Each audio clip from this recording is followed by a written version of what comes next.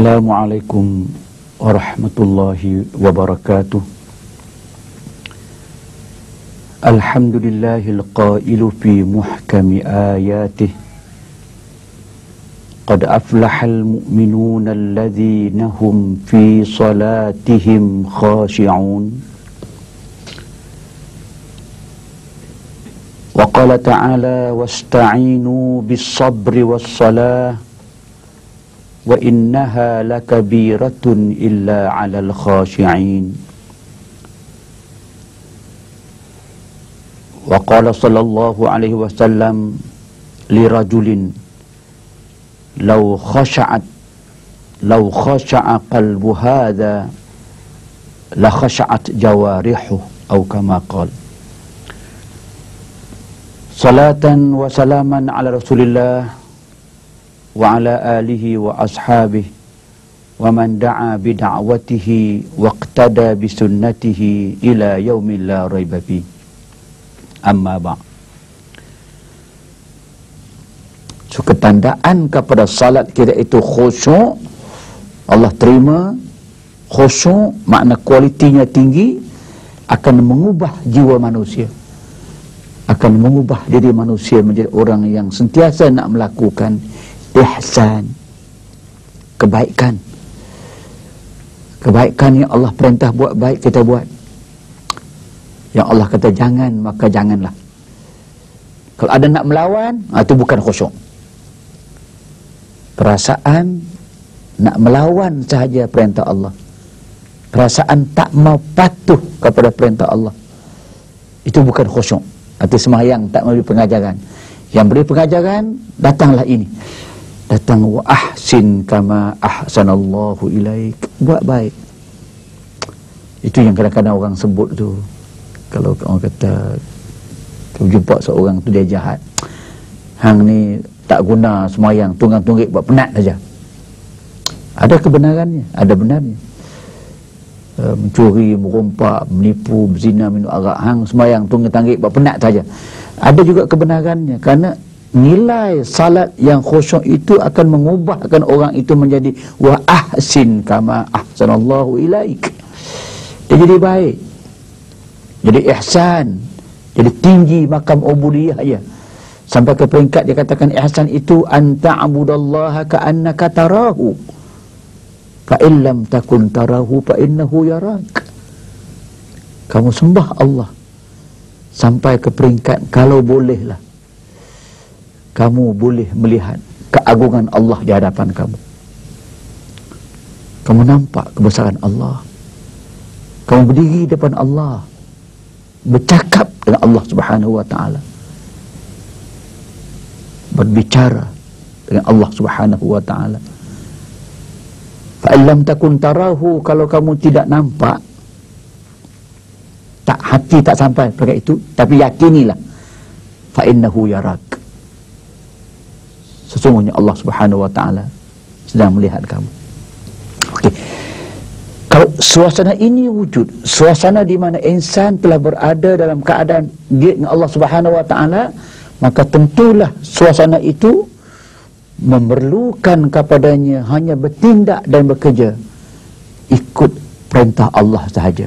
Awak ahsin kama ahsanallahu ilaik. Buat baik wala tabril fasada fil ard. Ini orang yang melakukan salat yang khusyuk dengan salatnya tadi dia akan kata apa? Wala tabril fasad. Jangan melakukan jangan berusaha untuk mewujudkan melahirkan suasana fasad. Damage damages kerosakan fil ard di bumi jangan merosakkan alam yang indah. Ini timbul, oh, jangan potong bukit buat rumah. Jangan main potong kayu sewinang-winang. Jangan tebang hutan sewinang-winang tanpa perancangan. Ini fasad. Jangan bunuh binatang sewinang-winang tanpa sebab. Jangan buat kerosakan kepada manusia. Jangan rosakkan alam sekitar dan sebagainya lah. Walaupun kita tahu mengatakan soal pasal ini begitu luas Islam amat memberi perhatian kepada pasal sebab tu orang dalam kerja haji misalnya orang kerja haji misalnya haram bagi orang kerja haji itu memotong kayu. Potong kayu pun tak boleh. Apa kena mengenanya potong potong kayu dengan kerja haji ini? Nak menyampaikan mesej kepada kita wala tabril fasad. Jangan buat kerosakan. Islam anti kerosakan. Nak baik kenapa buat rosak jiwa insan rosak Mengapa jiwa rosak? Mereka tidak salat. Ada mereka yang salat, mereka tidak khusyuk. Eh. Okey, perlu khusyuk. Sebab itu maka datanglah perkataan tadi, wala tabril fasad, jangan buat kerosakan di bumi. Karena Allah Subhanahu wa taala tidak suka orang yang buat kerosakan. Sebab itu maka pentingnya salat yang kita lakukan ini dilakukan dengan sebaik mungkin. Sebaik mungkin itulah yang namanya khusyuk. Dan khusyuk inilah yang menjadi essence yang menjadi antipati daripada makna salat. Dan salat itulah sahaja yang Allah sebut dalam Quran. Qad aflahal mu'minun alladzina hum fi salatihim khashi'un. Sesungguhnya memperolehi kejayaanlah bagi orang-orang yang telah menunaikan salat dalam keadaan mereka penuh khusyuk. Sebab itulah Quran bila sebutkan khasyi'un di sini ini diikuti lagi dengan ketandaan-ketandaan orang yang khusyuk tadi dengan walladzina hum li furujihim hafizun misalnya. Orang-orang yang menjaga kehormatan mereka. Orang-orang yang menjaga furuj mereka. Kemaluan mereka. Jangan disalahgunakan. Kalau orang yang sembahyang tapi menyalahgunakan furuj juga itu orang yang sembahyang sembayangan tanpa khusyuk dan tanpa makna yang dapat diambil daripada semayang. Yang diantaranya juga akan wallahu anil lagwi mu'aridun. Mereka itu tidak melakukan sesuatu yang lara sesuatu yang tidak berfaedah yang tidak berguna mereka tidak buat. Datang lagi banyak lagi. Orang yang menunai janjinya yang memberi amanah kepada mereka mereka menjaga amanah mereka dengan baik. Orang yang menunaikan salat daimun sentiasa buat dengan tidak cuak dan sebagainya. So kesemua perbuatan-perbuatan yang positif hasil gerak-geri yang positif kepada manusia dalam kehidupan ini dapat mereka mengambil daripada contoh teladan sembahyang yang khusyuk sembahyang yang begitu berkualiti yang akan mendatangkan kepada mereka itu rasa kepuasan. Tuan-tuan perempuan itu Allah sekalian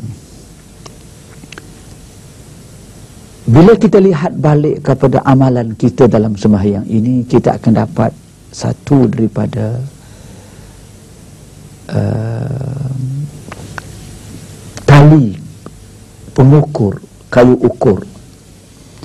Bagi sembahyang kita ini sama ada dia khusyuk atau tidak sama ada salat itu menjadi suatu uh, pedoman kepada menjana kekuatan dirinya bagi menjadi orang yang mukmin tak tidak ataupun sebaliknya menjadi orang yang munafik orang munafik ini orang mukmin dia tak sedar dia munafik.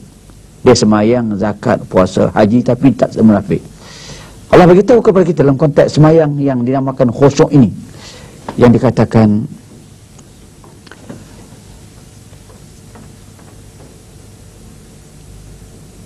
wa innaha lakabiratun illa 'alal khashi'in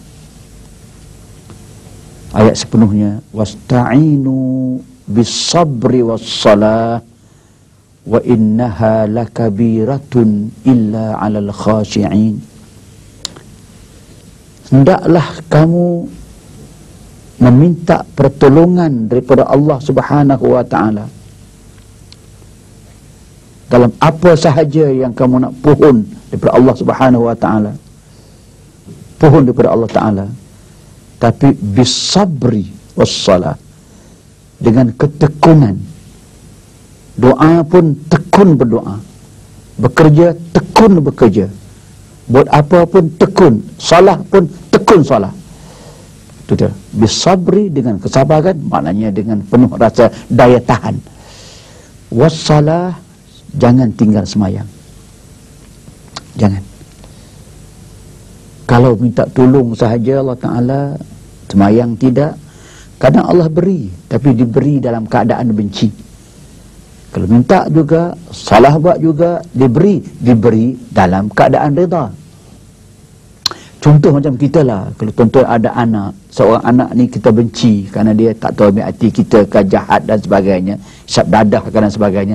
Seorang lagi baik, taat kepada kita. Dua-dua minta uang. Depan-depan. Nak bagi seorang, seorang kecil hati. Bagi juga. Tapi bagi anak yang saleh tadi, bagi dengan penuh rela. Dia kata duit ni dia nak buat beli buku, dia nak buat apa nama ni uh, beli Quran nak buat bagi sejadah. Misalnya lah. Nak semayang katanya. Reda. Seorang lagi minta duit nak pergi tak dadah. Tak bagi dia mengamuk. Bagi bagi dengan penuh rasa kebencian atau misalnya lah yang senang lagi faham kalau tuan-tuan pernah ada lah misalnya peristiwa di rumah malam hari anjing duduk menyalak. Tak tahu pasal apa. Pukul 2 pagi anjing menyalak tepi bilik tidur. Wow. Wow. Lena tak boleh. Nampak macam mana? Dan ringkasnya nak bagi anjing ni dia mudah ya. Pergi cari tulang daging dalam peti air tu kalau ada. Tulang ke ikan ke tak apa lagi. Tulang. Pergi campak seketul daging dekat anjing anjing nampak tulang saja bila tokak tulang dia nak auk macam mana mulut dia kena dah, dah kena tulang dah dia pelari senyap hilang adakah bagi tulang tu reda ke tidak mana ada reda tengah malam bagi tulang anjing pula esok cara nak buat sup sup dah habis dah itu maknanya beri dengan tak reda. Kalau tuan-tuan faham begitu senang. Wasta'inu bis sabri was salah kamu minta tolong Allah Subhanahu wa taala berdoa. Kerja sungguh-sungguh berdoa. Dan wassalah. Tunai sembahyang. Salah yang mana? Salah yang khusyuk. Yang tadi kita bincang jam ini. Allah bagi tahu dah wa innaha lakabiratun. Illa alal khashi'in. Sembahyang ini walaupun kamu nampak luarnya ringan. Pergi ambil wudu datang menghadap angkat tangan kiam cincai-cincai dua minit selesai. Express. Itu lambang tidak khusyuk. Khusyuk bukan begitu. Dia kena ada station. Dia kena ada interval relaxation tenang Okey. Susah ditunaikan. Susah, sukar ditunaikan salat itu kata Allah dia kabirah memang berat kerjanya melainkan orang-orang yang khusyuk semayangnya. Datanglah sekarang soalan yang sedang kita jawab.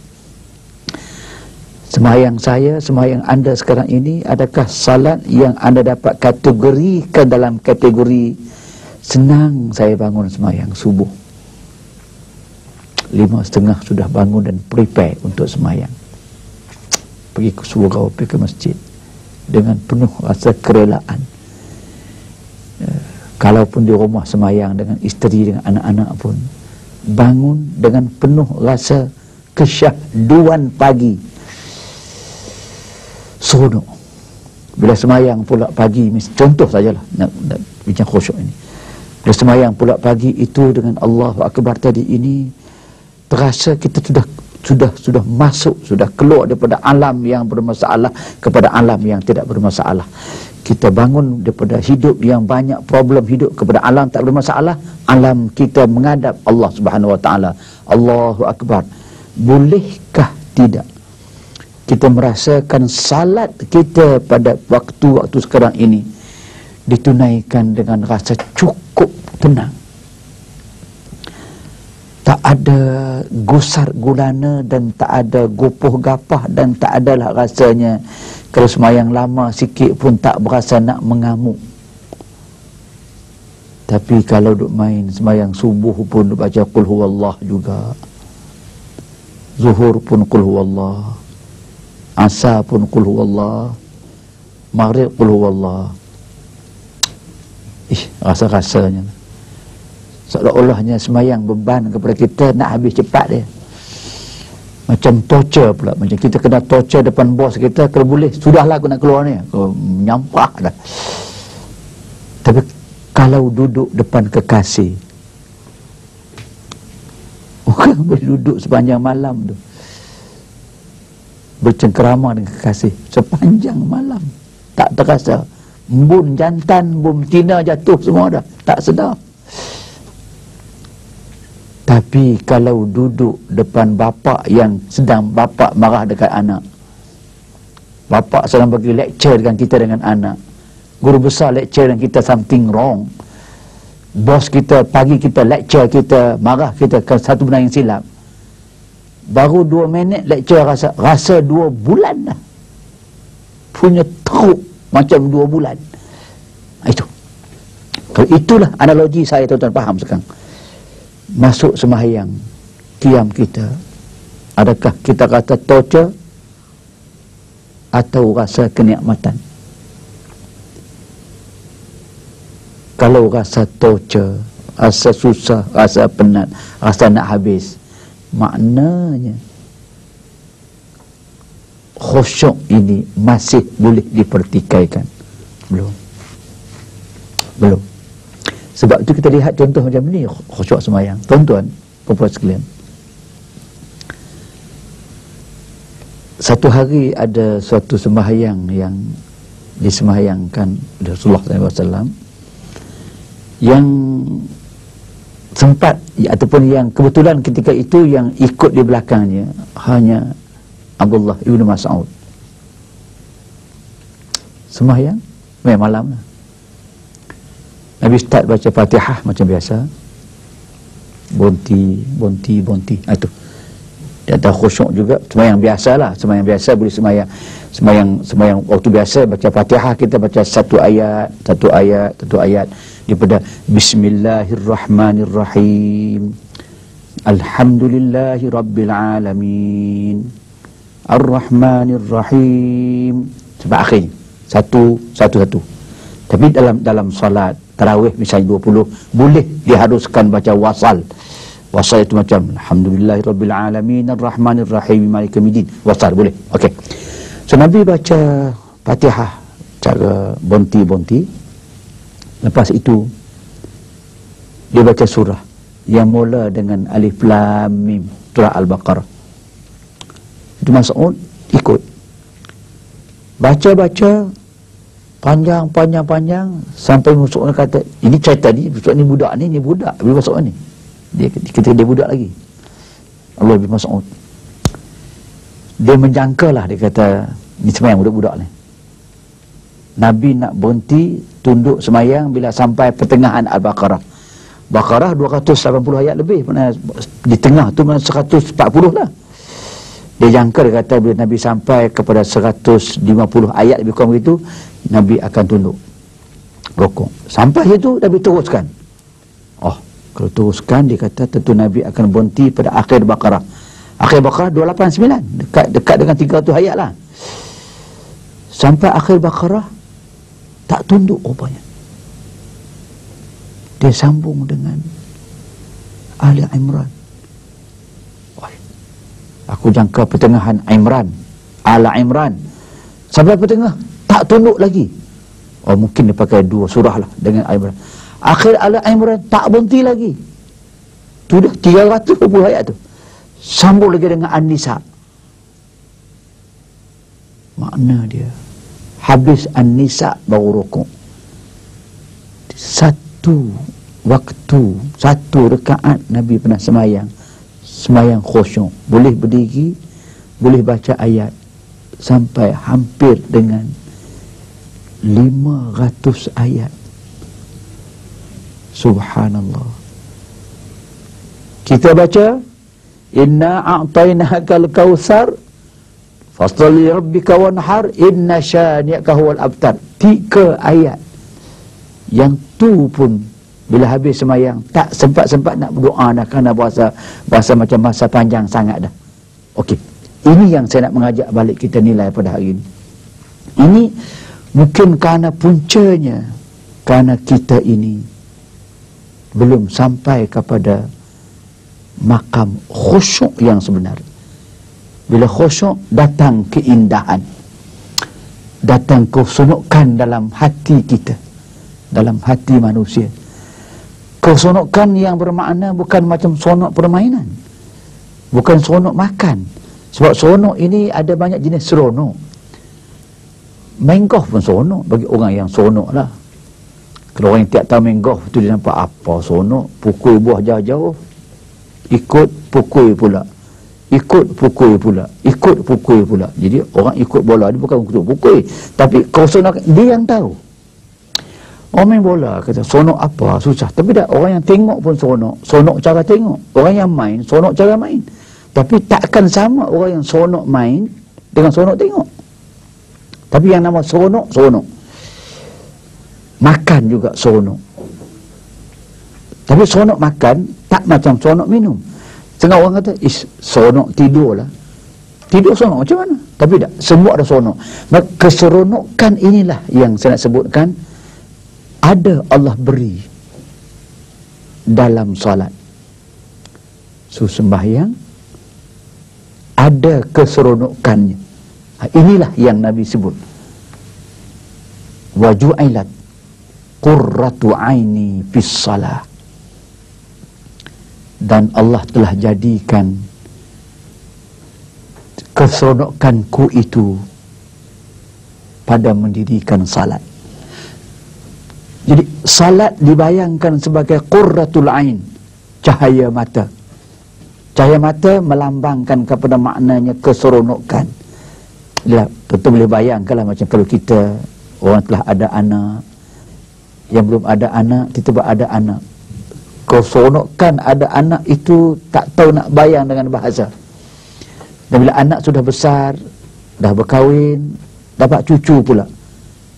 So keseronokan dalam masa dapat cucu ini, satu keseronokan yang tak tahu nak kata apa. Mereka sekarang kita boleh kata, seronoklah ada cucu ni. Seronok, okey. Yang sama juga, sama juga kahwin. Seronok kahwin. Seronok macam mana? Tak tahu tapi seronok. Nabi kata waju'ilat qurratu aini bis salah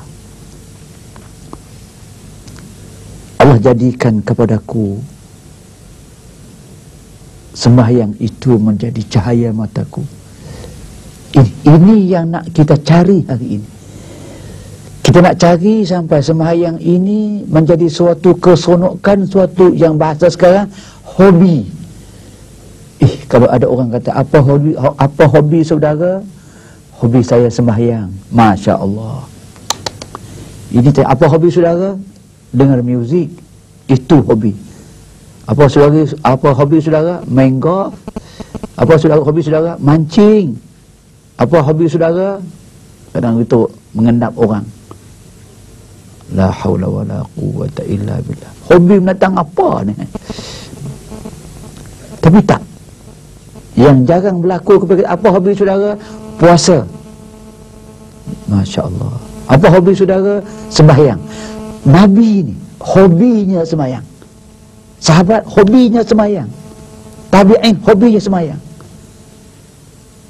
Itulah maka tak heran yang Allah sebut dalam Quran innaka taqumu adna min thulusayil laili wa nisfahu wa thulusah wa ta'ifatum minal ladhina ma'ak. Allah puji Nabi. Puji orang dahulu kerana hobi mereka semayang. Dia kata apa? innaka taqumu adna min thulusayil Inna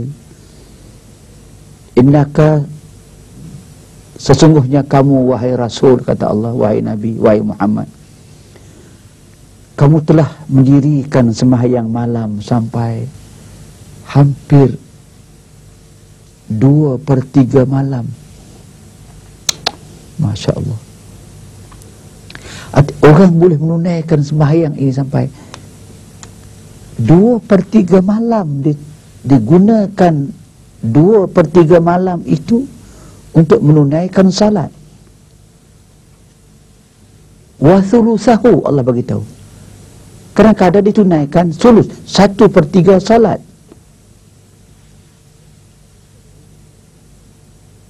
Wa ta'ifatun ladzi dan ada orang ramai pula orang Islam ramai pula yang bukan nabi sahaja yang ikut kamu yang buat semayangnya 2 per 3 malam 1 per 3 malam wa nisfahu tengah malam kalau setengah malam means makna dia 6 jam. 2 per 3 malam 8 jam. 1 per 3 malam makna dia 4 jam. Buat apa? Salah di antara yang disebutkan ini. Anda kata takum makna qiyam, makna berdiri. Itu Nabi pernah semayang. Sampai bengkak kaki. Bukan bengkak kaki berdiri tengok bola.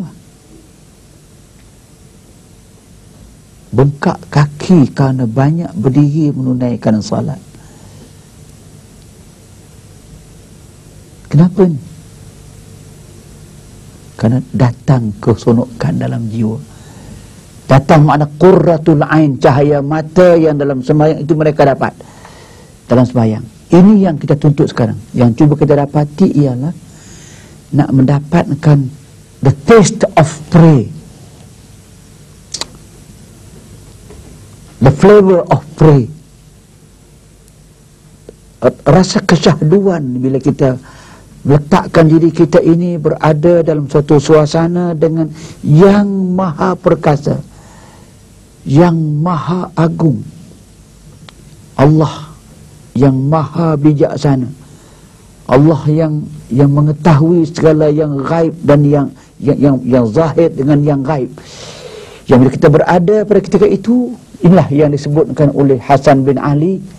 Bila Hasan bin Ali mengambil wuduk sahaja dan cuba nak menunaikan salat, biasanya Hasan bin Ali akan irta'ada irta'adat a'ba'uh. Tangannya menggeletar, kepalanya menggeletar macam ketakutan. Orang tanya dia, Kenapa begitu wahai Hasan? Hasan kata, Atadri man unaji? Kamu tahukah tidak aku nak buat ini kepada siapakah aku akan menghadap ini? Unaji rabbi. Aku pergi nak menghadap nak bersemuka kepada Allah Tuhanku yang ku sembah aku takut dia tak terima sembahyang aku. Allah berkah kepada aku. Aku tak khusyuk aku takut hati aku pergi ke lain kepala fikir aku takut itu aku takut tak dapat kontrol kepala aku ingatan aku. Itu perasaan mukmin yang inginkan kesempurnaan dalam sembahyang saya katakan. Ada deriman unaji. Kamu tahukah sembahyang itu dengan siapa kamu sedang menghadap? Unaji Rabbi. Aku menghadap sungguh-sungguh dia Allah Tuhanku. Datang perasaan itu. Macam kalau boleh kita bayangkan kalau kita biasa menghadap lah ataupun datang dipanggil menghadap menghadap raja, menghadap orang-orang besar, menghadap orang-orang yang ternama, yang jarang-jarang sekali boleh menghadap, katakan begitu. Tentulah kita pergi dengan pakaian yang kemas, dengan dengan kita punya setting uh, dalam kepala kita itu dah set up apa nak bercakap, bahasa apa nak gunakan, nak, nak, nak buat apa, duduk macam mana, Eh, tertib macam mana, protokol macam mana. Biasa saya tak bayang begitu. Hatta nak bercakap tu pun, tah disusun, dihafal dah pun. Bahasa dihafal dan sebagainya. Okey. Itu baru suatu suasana di mana kita nak menghadap manusia yang macam kita juga dia pun dosa macam kita juga dia pun kena sembah Allah Tuhan kita juga. Kita sama Allah Subhanahu Wa Taala ketakwaan yang berbeza. Namun demikian kalau itulah yang boleh kita rasakan dalam pertemuan kita dengan Allah Subhanahu Wa Taala lebih kurang dengan pertemuan kita orang besar begitu lebih kuranglah bukan benar lebih kurang demikian maka tentulah akan ada perasaan. Perasaan di mana kita tidak berdiri sebarangan. Tidak bercakap sebarangan tidak melakukan pekerjaan sebarangan melainkan melakukan dengan penuh adab dan tertib. Membaca Quran dengan penuh tertib dan penuh ilmu yang yang boleh disebut dengan betul. Tak cepat tak lambat sampai menjemukan dengan suara yang Allah berikan kepada kita dibaca dengan makhraj yang betul tajwid yang betul suara yang betul wakaf yang betul. Kenapa? Nunaji rabbana. Kita sedang bermunajat dengan Allah Tuhan kita. Kalau inilah kita wujudkan perasaan tertanamkan perasaan kita terlihatkan perbuatan-perbuatan kita bacaan-bacaan kita maka akan datanglah perasaan awal kita. Perasaan awal kita kepada makna khusyuk makna indah makna tunduk makna patuh kepada Allah Subhanahu wa taala Tuhan yang kita sembah. Tuan-tuan puan-puan sidang penonton pendengar yang dirahmati Allah sekalian. Ketahuilah bahawa nilai manusia ini pada pandangan Allah Subhanahu wa taala hanya berada pada nilai ketakwaan. Dan ketakwaan ini tidak wujud melainkan dengan keimanan kepada Allah. Dan keimanan kepada Allah tidak ada arti yang sebenar melainkan dengan kepatuhan dan ketundukan kepadanya. Dan salah satu daripada makna ketundukan ialah salah. Dalam konteks ini kita lihat misalnya Allah menyebut dalam hadis kursi kepada kita. Allah sebut Al-ahdu alladhi baini wa baina abdi as-salah Paman tarakaha faqad kafar Janjiku kata Allah dengan hamba-hambaku ini hubungan kami, hubungan aku dengan hamba-Ku. Mesranya kami, berimankah hamba-Ku kepadaku, taatkah kepadaku dan sebagainya. Allah kata, janji itu Allah kata, aku meteraikannya, aku tegakkannya atas as-salat. Atas salat. Mendirikan salat. Allah kata, faman tarakaha faqad kafar. Sesiapa sahaja yang telah Islam beriman menunaikan salat dia tinggalkan salat atau tidak salat langsung Allah bagi tahu dah faqad kafar sesungguhnya orang itu telah kufur kepada Allah Subhanahu wa taala. Auzubillah dan datang lagi hadis lain yang sahih kesemuanya yang dikatakan as-salatu imaduddin. Paman aqamaha faqad aqama din wa man tarakaha faqad hadama din Salah ini dia penegak kepada agama. Dia panggil tiang agama, penegak. So, agama tidak boleh bangun, tidak boleh wujud melainkan atas tiang. Dan tiang asas, tiang seri dia. Ha, tu. Tiang utama dia. Yang menjadi strength kepada rumah itu dia kata as-salah semayang semayang sebagai tiang agama faman aqamaha sesiapa yang telah mendirikan melaksanakan menunaikan sembahyang ini faqad aqama din. Dia sudah menunaikan salat menunaikan agamanya menegakkan agamanya mengukuhkan agamanya. Waman tarakaha sesiapa yang meninggalkan salat faqad hadamad din. Sesungguhnya dia telah meruntuhkan agamanya. Runtuh agama. Maukah kita menjadi peruntuh agama kita? Kalau sekadar kita meruntuhkan dunia kita meruntuh kehidupan kita meruntuh bisnes meruntuh apa saja dunia tak sangat sehebat orang yang meruntuhkan agama dia. Kerana yang rubuh dunia boleh bina balik yang rosak dunia boleh dibaiki balik tapi kalau rosak iman kita, rosak agama kita dan mati pula dalam kerosakan iman itu, sembahyang tidak buat, mati dalam keadaan kufur itu, tak siapa dah yang boleh membela kita. Tak ada dah. Tak ada ruang dah yang boleh memperbaiki balik kita. Sebab itu dia katakan siapa yang menghilang ni, dia hilang segala-galanya. Sebab itu maka kita perbaiki balik tadi dengan dengan mencari jalan supaya salat ini menjadi sebahagian daripada darah daging kita menjadi sebahagian tuntutan hidup kita inilah kita nak melakukan kerja-kerja salat ini dengan penuh khusyuk dengan penuh nilai dia dengan penuh kualitinya agar kita menjadikan orang yang aflah orang yang telah berjaya yang berjaya ini, yang al-falah ini biasanya tidak dirujukkan kepada falah di dunia sahaja. Falah yang kita kehendaki ini, kita falah di dunia. Kita berjaya di, berjaya di dunia sebagai seorang mukmin, sebagai seorang muslim, sebagai seorang warga negara, sebagai muwatin, sebagai uh, citizen yang berjaya dalam hidup kita ini dalam semua bidang.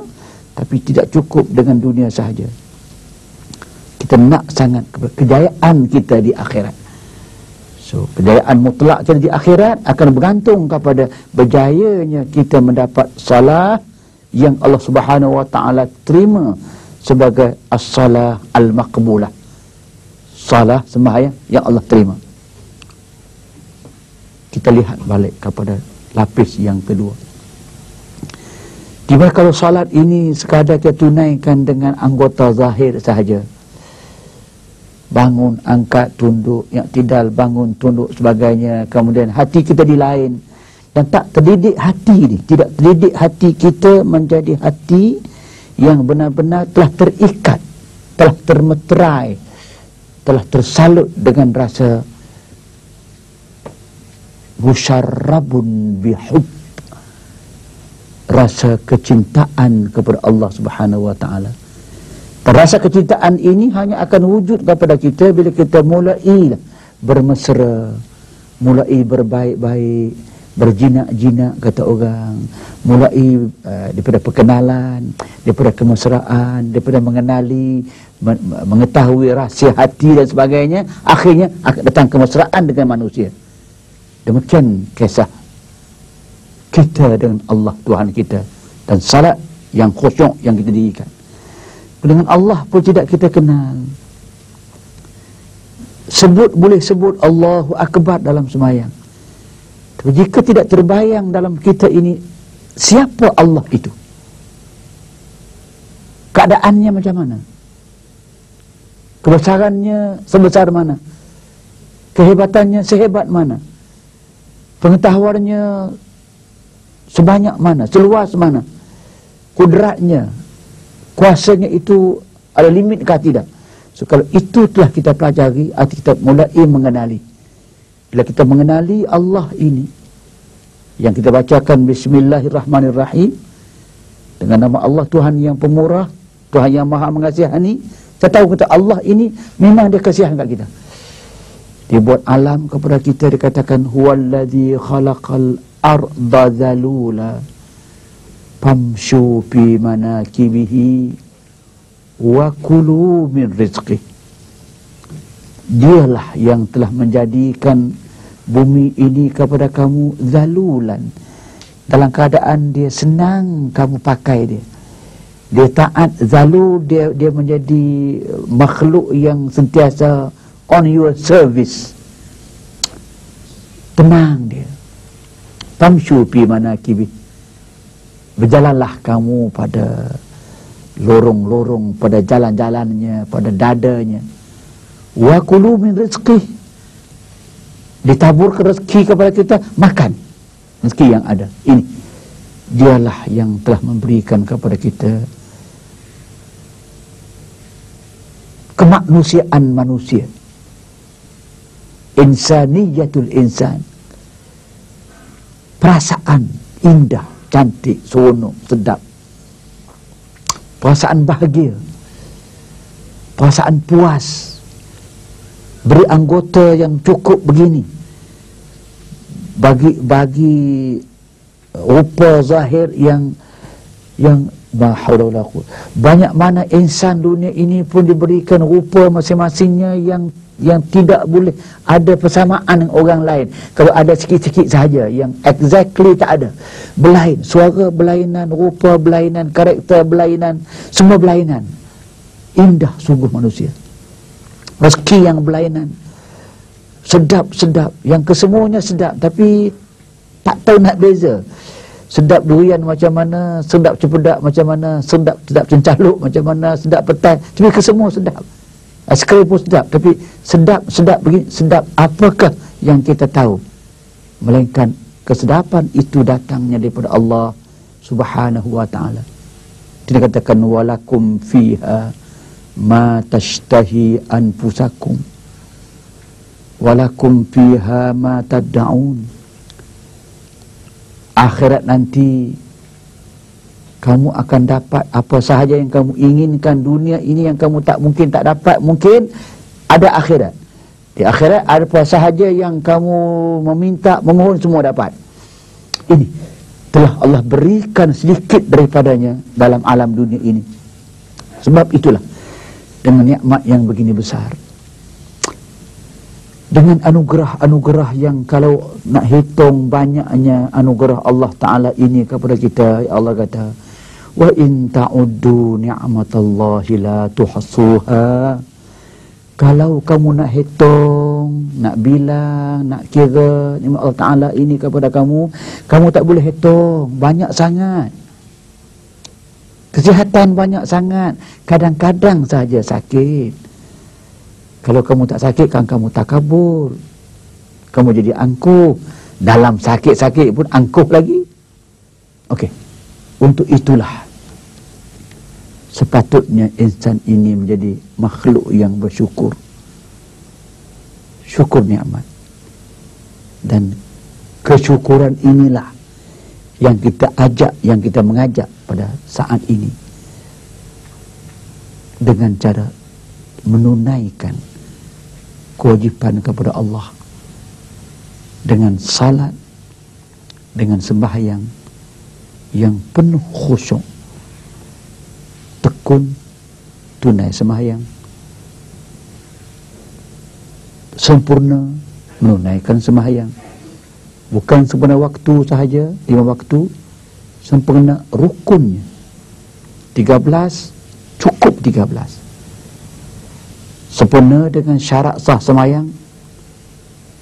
Enam syarat sah semayang enam kesemua sempurna. Bacaan semayang bacaan sempurna.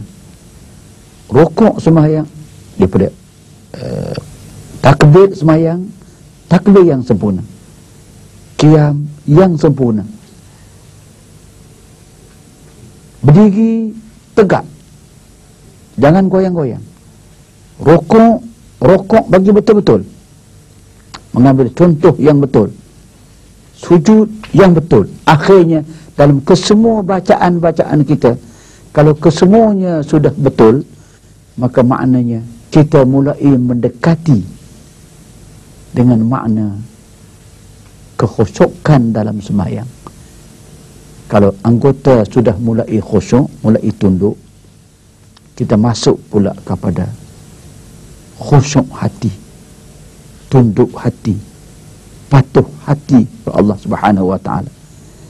Kalau hati perasaan sudah wujud dengan adanya kepahaman begini sudah wujud perasaan ingin menunaikan salat maka tunduk yang ketiganya iradah kita kehendak kita pun ditundukkan kepada kehendak Allah subhanahu wa ta'ala bukan dalam sembahyang sahaja kita taatkan kepada iradah Allah tapi di luar sembahyang habis sembahyang terus kita tundukkan kehendak kita sesuai selaras dengan kehendak Allah Subhanahu wa taala. Oleh itulah untuk sampai kepada tahap ini maka perlulah kita mengetahui lagi apa makna salat apa tujuan salat motif salah ini apa apa makna gerak-gerik dalam sembahyang ini apa makna bacaan-bacaan dalam sembahyang ini apa ada akses dalam at-tahiyyatul mubarakatul salawat apa guna semayang ini kita sampai yang kita syahadu alla ilaha illallah. Mengapa angkat? Ini ke semua terkandung dalam makna pengertian-pengertian yang sebenar pada salah yang tuan-tuan puan-puan boleh ikuti lagi selepas pita ini dengan pengertian-pengertian yang lebih terperinci dalam pada pengertian, pengertian itulah terkandungnya makna kepahaman kita yang sebenar kepada kekhusyukan dalam menunaikan sembahyang. Semoga kita akan berjumpa lagi pada siri yang akan datang. Semoga pengertian yang sementara ini membuka hati kita, keinginan kita, minat kita untuk menunaikan salah, untuk minat menunaikan salah dengan lebih tekun, lebih sabar, dan lebih memberi arti dalam hidup kita. Sekian dahulu untuk kali ini. Kepada Allah kita pohonkan hidayah.